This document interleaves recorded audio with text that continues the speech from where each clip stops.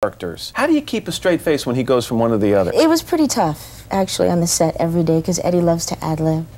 And with each and every character, every scene that we did, he always had uh, some outrageous ad libs that were hilarious.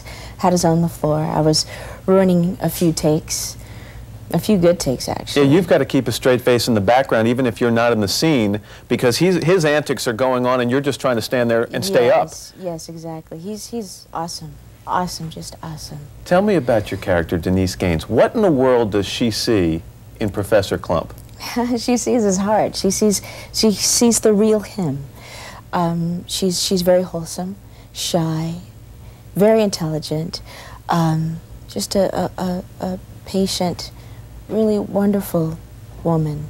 And, and she loves him unconditionally. And the two basically are engaged to be married, right? Yes. So they're going to get together. There are some hurdles to get over first, but the one thing we know is that the Klump family is thrilled about this union. Yes. because you show some of the same characteristics that Professor Klump does. Let's take a look at this scene. Hey. You watch it now. You reach over here again, you're gonna pull back a nub. Ooh, please, she's fiery. I like that. Tell me don't touch the chicken. Don't be hitting on people. I don't be getting hit on, Sherman. You know that. You better eat up, Isaac, or you gonna need your strength. Yeah, later on, me and Isaac gonna watch mating season on the Serengeti. Mm. Don't take a lot to get Isaac going. Time out. Good Lord. Explain how this works, because Eddie plays all these characters, so there are times that you're acting opposite nothing. Yes, Is that a tennis right? Ball. What do you mean a tennis ball? Well, they put a, a tennis ball on a, a C-stand, and that's supposed to be grandma. Say Sherman sitting here, say mama's there, and and you're doing the same with Papa that day. So you have to, you know, your reaction shots or whatever to those characters, and it's it's for special effects purposes. Did you find that difficult? It was difficult. Um, the the balcony scene where he proposes to me was pretty much the, actually the whole scene was done uh, acting to an X on a black flag. So you must look forward to the scenes where you're actually working with Eddie. Y- Yeah, I, I did, yes. You have some music in this movie. You contribute a song to the soundtrack. How did that come about? Did they did they ask you? No, no, I actually offered. I'm sorry, I'm just staring at the, the are those cops outside? Or?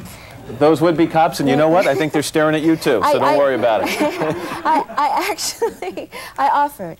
Once I got the part, I, I, I wanted to be a part of the uh, soundtrack. So, and I, I felt kind of tacky in asking if I could be a part of it, and, and they were, they were very excited that I, I had asked.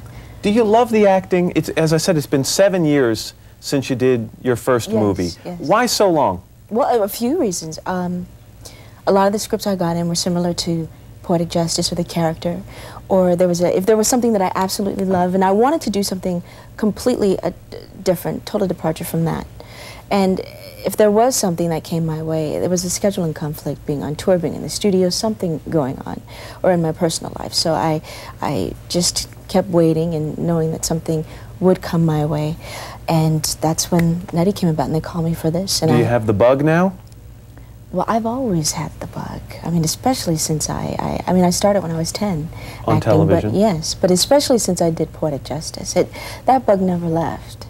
It really did. And I was so happy that they called me in to uh, audition for the, the role. So, message to producers, directors out there: if you've got a good script, bring it your way.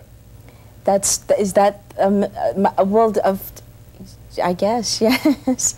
You mentioned something a second ago. You said there are always timing issues, and you know either they're, you're doing something else or something's happening in your life. Something came out, and I don't want to get too personal on this. Don't worry, but you did just go through a divorce. Yes.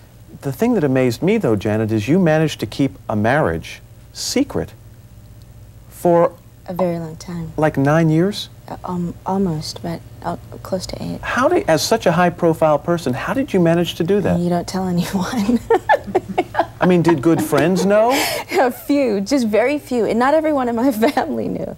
Just the ones that can keep a secret. Because Renee was always referred to as your boyfriend. yes, yes, And all along, for most of the time, you two were married. yes. What was the reason you found that that should be so important? Well, we both decided to do that and uh, to live a normal life, being in the public eye since I was seven. Um, all the negative press, the negative energy that I've seen with other couples once they, you know, they join, and and and I, I that all that negative energy, I, I think truly, obviously it's not good, but I think it feeds into what's going on with between those two people. And such a wonderful thing, a beautiful thing. There should be just positive energy to to help make that work. Um, it's, it's bad enough, it's difficult enough trying to make such a thing work, and then on top of that, being in the industry, it's very, very difficult leading those lives. Well, you fooled us all. So congratulations on that, and I hope things work out for you personally. Thank you so much. And with this movie, it's called Nutty Professor 2, The Klumps. yes. Good luck. Thank you. We're back in a moment. This is Today on NBC.